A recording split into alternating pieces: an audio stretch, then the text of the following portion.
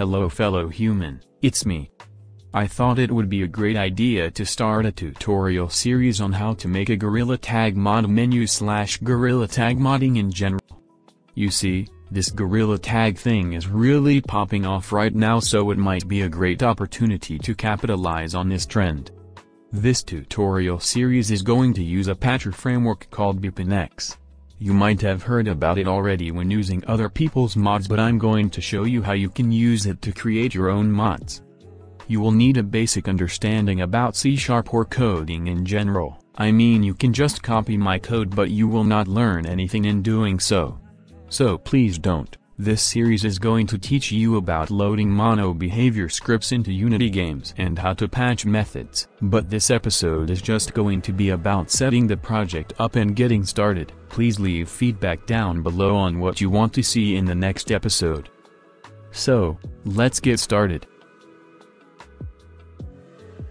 You will have to get a program called Visual Studio in case you don't already have it. It's a completely free program by Microsoft that lets you just compile your code into a lot of different things and other stuff.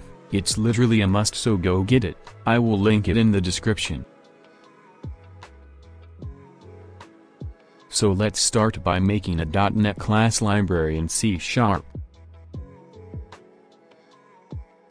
You can name it to whatever you want but I'll name it to YouTube Tutorial Mod.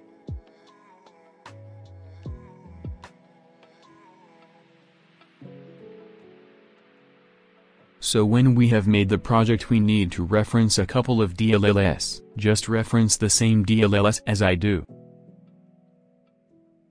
I'm taking for granted that you have already installed BepInEx though so if you haven't, go do that. There's countless of tutorials on YouTube how to do so. These DLLs will grant you the ability to make mods.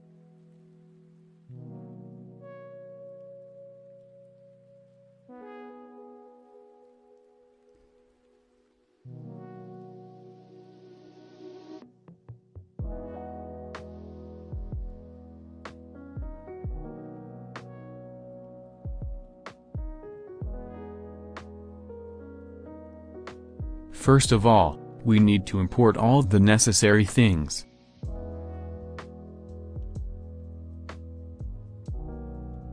Then we need to define the mod's identifier, name and version. Here's a brief explanation of them.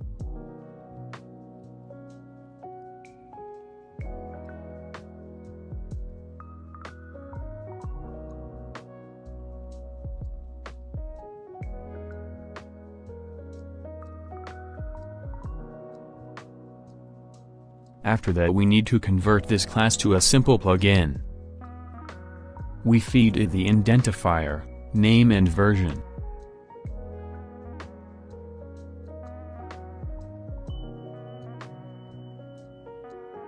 Then we need to define a wake function, aka the code that runs at the start of the game.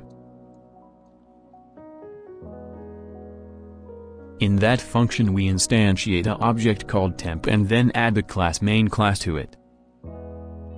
We haven't made the class yet but that's the next step.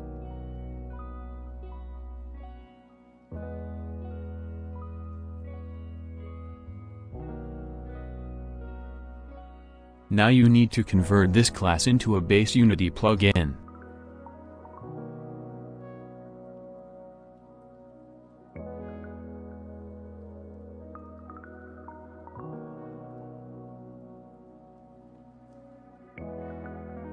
Now we need to create a new class. Name it to exactly main class like I've done here. Now remove all the imports and only import the Unity engine library. Convert the class to a MonoBehaviour class. Read up on Unity if you don't know what that means. Now create a start class. It's a predefined class from the MonoBehaviour type. Here's a brief explanation from the Unity documentation. Then add a debug message. It just says hello. Now build the project into a DLL file so we can add it into the BepInEx plugins folder. It will spew out a path to the mod. So copy it and paste it into the Explorer, without the .dll part of course. Your mod will be somewhere in this folder, you need to find it, it will be the name of the project.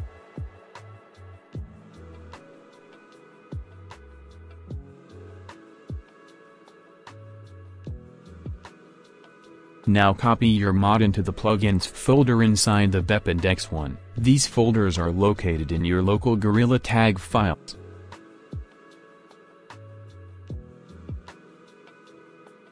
All the mod does so far is print the message hello into the console at the start but it's a really great start in your modding journey. And we will add more useful stuff in the next episode so don't forget to comment what you want to see be added. Now we can start up the game like normal and if you look closely at the console, there should be a hello message somewhere in there.